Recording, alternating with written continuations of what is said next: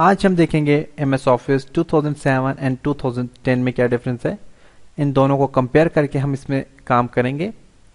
तो basically Microsoft Office में Microsoft Word Excel and PowerPoint होते हैं। माइक्रोसॉफ्ट वर्ड 2007 का आपको व्यू नज़र आ रहा है। तो माइक्रोसॉफ्ट वर्ड कैसा सॉफ्टवेयर होता है, जो कि एप्लीकेशन पर्पज के लिए यूज़ किया जाता है, जिसमें एप्लीकेशन लिख सकते हैं बुक्स वगैरह बना सकते हैं नॉवल क्लास नोट्स थीसिस वगैरह बना और लिख सकते हैं। ऑफ़िस 2010 का व्यू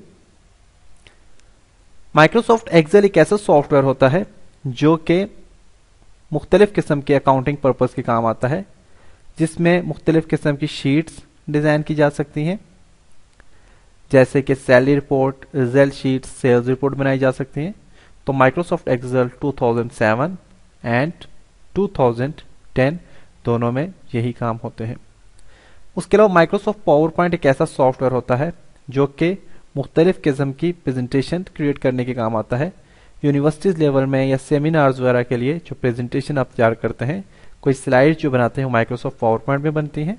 तो माइक्रोसॉफ्ट पावर पॉइंट 2007 एंड 2010 दोनों यही काम करते हैं।